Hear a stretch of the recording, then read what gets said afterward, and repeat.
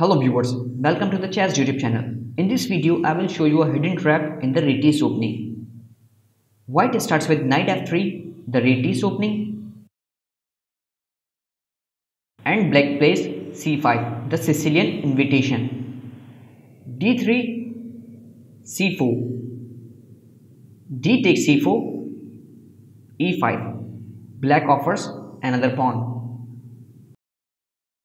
And here, if knight takes the pawn, then it's a mistake.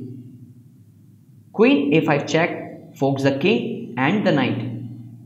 After bishop d2, black wins a knight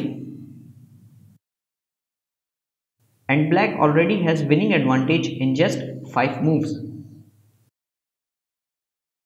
If you enjoyed this video, then subscribe the channel for more videos like this.